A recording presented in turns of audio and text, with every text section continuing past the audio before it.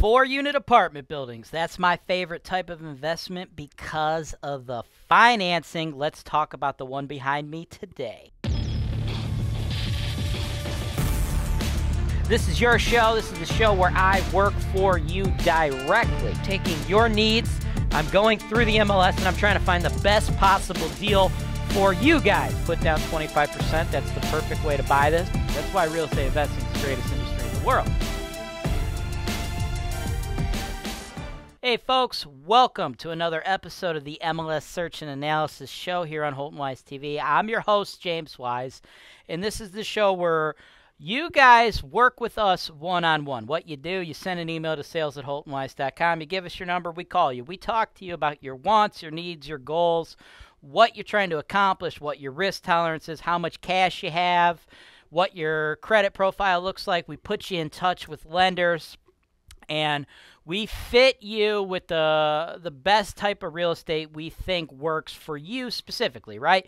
I've always told people I don't think there are good deals or or rather, let me say this. I've always told people I don't think there are good properties or bad properties, but there are good deals and bad deals. You see, any property can be a good or a bad deal based upon how you buy it, when you buy it, and if the right person buys it, and most importantly, the price you buy it for, okay?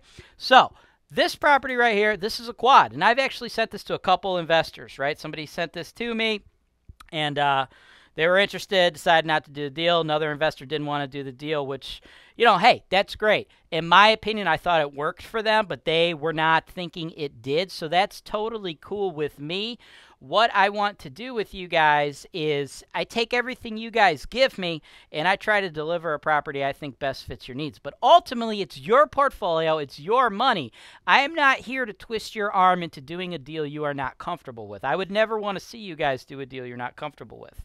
Personally, I think people should be jumping on quads because of the financing, right? Here's the deal, guys. Financing is the number one reason you should be investing in real estate, okay? You can't open up another business and get 30 year low interest, fixed interest financing. It just doesn't happen that way, okay? The one problem, the one negative to this financing is it only works for residential properties. And to fall under the category of residential property, you have to have one to four residential units under one roof, right? Four being the biggest, okay? So this is a four unit. So if you had a five unit apartment building, you don't get that quality financing. And I guess another negative is you can only get 10 of these types of mortgages, right?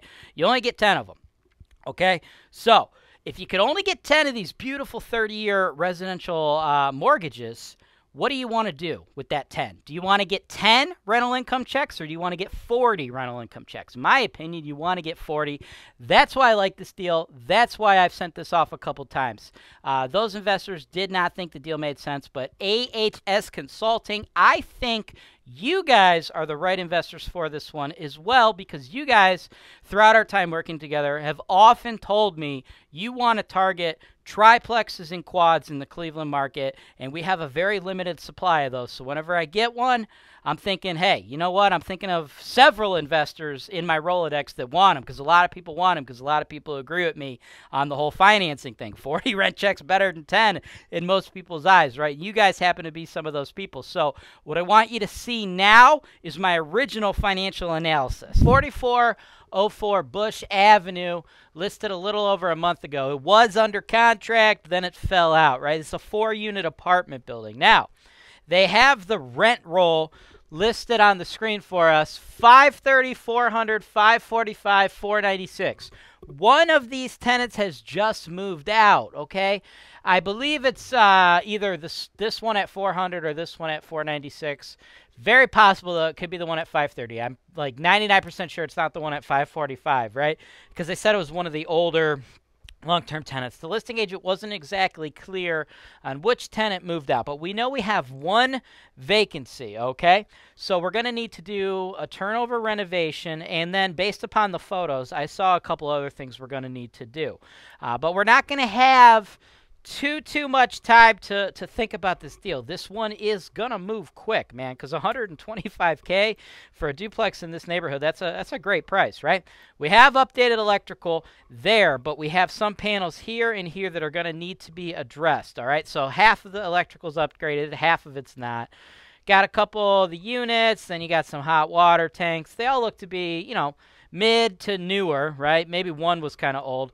Uh, but other than that, nothing major, okay? So we have the electrical issue, and we have one of the four units is going to be totally vacant when you get it. So, what I think we need to do, guys, is I think you guys need to jump on this at 125. You're probably going to end up in a bidding war, to be honest with you. So, 125, and then I've calculated $12,000 of repairs. Now, that $12,000 is going to be 10,000 allocated toward one of the empty units. We're not 100% clear on which unit is empty at this time, and we don't have any photos other than like that random bathroom, right?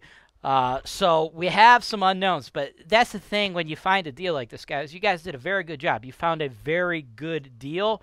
Uh, we can't just go back and ask the listing agent a million questions, right? We're going to need to make our offer full price, and we're going to need to make it contingent on home inspection. And we'll be able to, you know, put together some details once we get further in the due diligence process. But what we need to do now, what you guys' job is right now, is to get this sucker under contract because that's a hell of a deal, right? So I'm anticipating you'll be all into this deal for 137, but Long term, what's that going to look like? It's going to look like $2,300 a month in rent, $27,600 a year, right? Because each of these one bedroom units is really a $575 unit. Now, back to this on the screen. All right. You see here, their their old rent roll. Three of these four are still going to be there when you acquire it. 496, 500, 400, 530. To my understanding, the $400 tenant and the $496 tenant, those were tenants that were there for like at least five to 10 years, okay? One of them I'm pretty sure is gone, but you got to understand like some of these super low rents, what you get, you get a lot of mom and pop landlords that they'll put tenants in there many years ago. And because the tenants don't cause them any issues they just leave their rent as it is. Now i'm not saying that's the worst business decision right? My goal is always to keep butts in the units. But that said $400 i wouldn't want you to do due diligence on this building assuming you're renting $400 units because you're not because you're renting $575 units, right?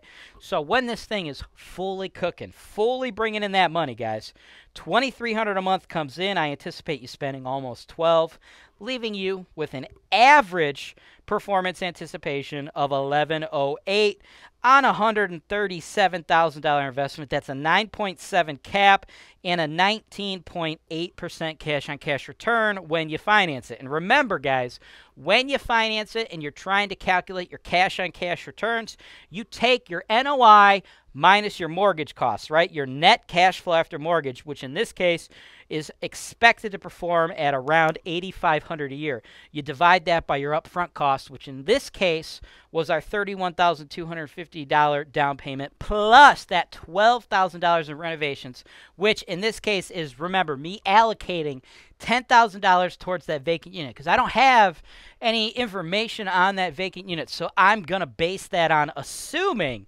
we need to just go and do everything paint, walls, floors, kitchen, bath to get that thing Section 8 ready, bringing in that 575 And then I've allocated an extra $2,000 because I saw a couple beautiful, pretty upgraded electric panels, but then I saw some ugly old duds, right? So I think those are going to need to be addressed, guys.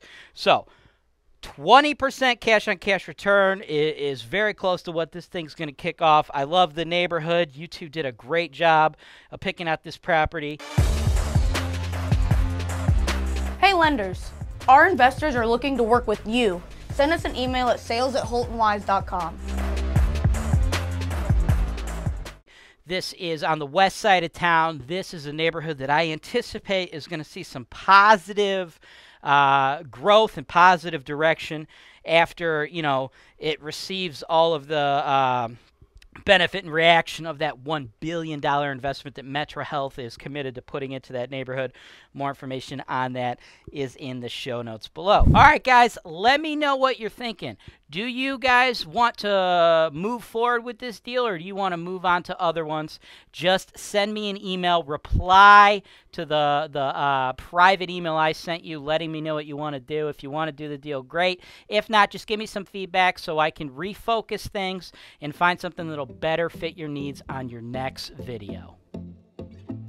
Thanks for watching. Subscribe to Holton Wise TV for more financial information, education, and entertainment.